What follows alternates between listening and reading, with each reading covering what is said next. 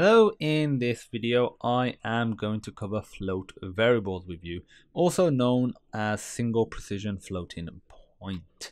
Okay, so before let's get that in there in case you you know read read you know that somewhere.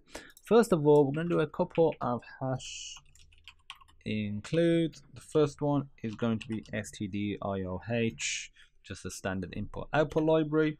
Then we're going to do a hash include of float.h this is not specifically required to use floats, just doing this so we can print out some hash defines that you know show us the min and max of float values. That's all. There's, there's no other reason to doing this. Okay, so now what we're gonna do is do a few printfs. So printf, and I'm gonna say positive float min and put percent %g. Percent %g is, you know, we'll do scientific notation. Um, backslash n, the new line character. FLT underscore min is the float min. And remember, this is what is retrieved from the float h. And I'll duplicate this for the four instances. This can be positive float max. And we'll change this to max and we'll change. What we'll do is I'll copy these two actually. These just have a negative at the start and this will be the positive float. Now this will be the negative float min and negative float max. So if I save that and if I increase the size of this run it. That's what we get. So those are the minimum and maximum positive values that you can do for negative numbers. Actually, technically, would that not be the... Yeah, that should be alright actually. Might got the mixed but should be okay. Okay, so the values that you can do. If you put like F, which allows you to print float values, it'll give you the more specific value, which, you know, is zero and for the max it'll give you something really high as well. And there we go. You might be thinking you know this looks a lot different. This one looks obviously a lot more like this one. This one looks a lot different to this. It's just the way internally numbers are stored. They're never 100% exactly the way you know you specify. You so you may come across issues like that and it's something I'll probably cover in separate videos in more depth. But for now, you don't really need to worry about that sort of stuff. Okay, put this back to a G and a G.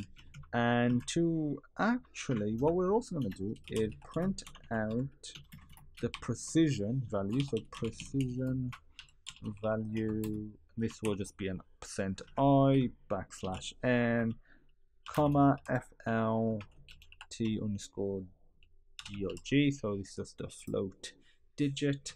Save it run it and we get float of precision of 6 so this says that we can have up to 6 decimal points with float without losing any precision. Okay now if we create a float variable float and then we name it let's say f. I'm gonna say 5.5 just to keep it simple. Equals 5.5 that is. And to print it let's do printf